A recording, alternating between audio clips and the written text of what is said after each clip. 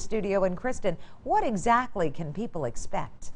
Tracy, they can expect to prepare for the unexpected. If you're walking home, jogging, or not around anyone, there are 13 common attacks used to harm someone. This class teaches 40 techniques to escape those attacks. So someone grabs you from the back and is really strong, big like this guy, and grabs your wrist, and you're a lot smaller than him. You gotta remember the weakest part of anybody is the thumb. It's called the St. Landry Integrated Combative Education class, and it's designed especially for women like Novella Moore, who has two young children. My husband works full time, I work full time, so we're separated a lot from each other. So just always want to be on guard and know what to do should I ever need to defend myself and my girls.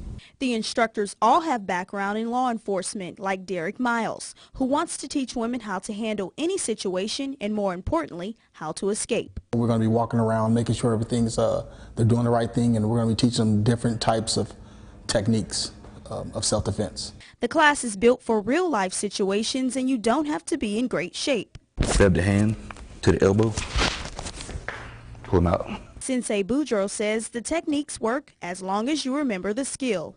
I got an email from a female that was going to that college that said that she was, someone tried to rape her, two male subjects from, you know, at the, the school, and she actually used the techniques that I taught her to get away. Mm. So, you know, you train 100 people, you save one, it's, it's worth it. The class starts tonight at 6 at the St. Landry Parish Narcotics Office. It's free and open to the public. Also, this class will be offered for any St. Landry resident every three months. If you would like more information on the class, we've posted those details at KATC.com. Live in the studio, I'm Kristen Holloway. Good morning, Acadiana. Thanks, Kristen. So you did some butt kicking Uh-huh. once yeah. before. Uh, when Derek, before Derrick Todd Lee got caught, Uh-huh. I coordinated about 40 self-defense classes, and, uh, And you took out the instructor. I did. Way to go.